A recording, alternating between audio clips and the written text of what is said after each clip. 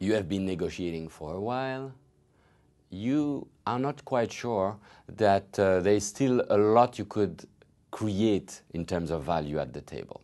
Right? You are clear more and more about uh, elements of price, elements of uh, structuring the guarantees in the deal. So maybe it's time to close the deal. And you want, but is it a good deal? Is it a bad deal? You see, that's the problem very often. We only look at a binary approach here good, bad. Well, maybe what we should think about is uh, what are the nine indicators? The nine indicators that can tell you, yes, it's a good deal, and I think we should go for it. When, when should we say yes? Well, you remember these three pillars people, problems, process? Well, if you want to, to tell us if it's a good deal, if you want to, to determine yourself if it's a good deal, you need to look at these three dimensions again, these three pillars. Pillar one, the people. Is it a good deal? Well, it's a good deal if what? If the relationship between the two of you as negotiators is better, has improved, it's good, you have worked on that. Well, that's an indication it was a good negotiation.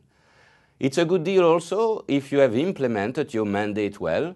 You're thinking hard at this point when you are closing the deal and you're saying, that's right, I believe that uh, if I go back home with that deal to my boss, I think my boss will like that deal. But you don't forget that the other side also going to see their boss.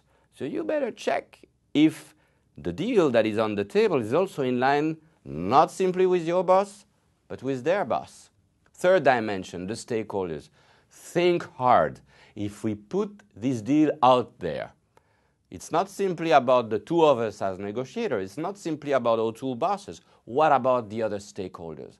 Are we sure that the stakeholders who might be affected by the negotiation will be okay, will implement the deal? So you see, make sure that the three elements of relationship are really kept in line when you are ready to close the deal. And then the problems, because that's what you've been working on most of your time. So make sure that, yes, the motivations. You remember how important it is to think about your motivation and the other side's motivation. Make sure that you have integrated in the deal as many of these motivations. Make sure that the solutions at the table have created a lot of value. You are there at the negotiation table to create value.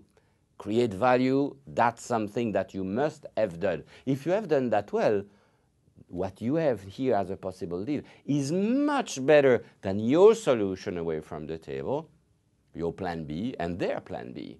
So that's another good reason to go for that deal. And the fourth, remember justification? Yes.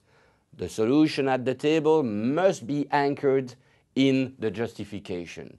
You need to be able to explain that deal to your boss. They need to be able to explain that to their boss. So the best justification will mean very often that the deal will fly.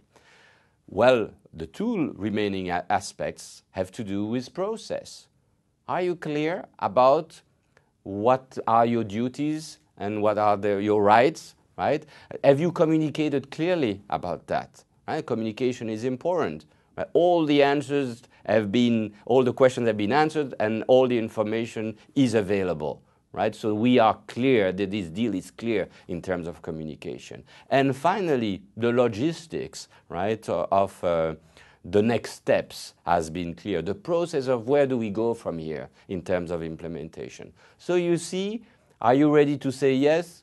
Probably if these nine indicators, or many of them, hopefully all of them, most of them, have been taken into account. You could say yes.